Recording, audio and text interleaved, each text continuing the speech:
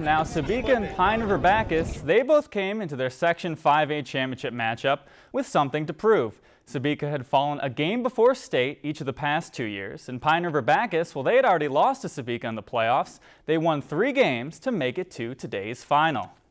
We'll pick things up in the top of the fourth. Pine River Backus leading 3 to 2.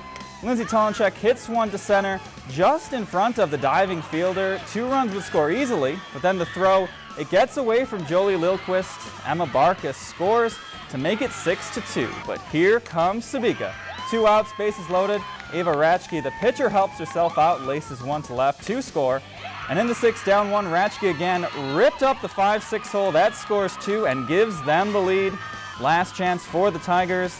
Ratchke puts the finishing touches on her masterpiece. Sebeka is headed to state. The celebration, what a win for them. They take it 7 to 6, and even though they were down by 4, the Trojans knew that it was no time to panic.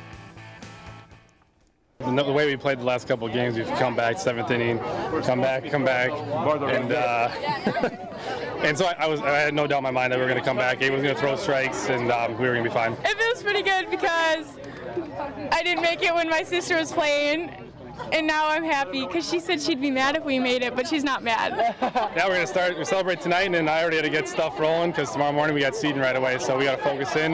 Monday, Monday, Tuesday practice, and we got to be ready to go. And as Coach Meyer said, Sebeka, they'll be taking their talents to North Mankato. Their first round opponent, well, that'll be determined tomorrow.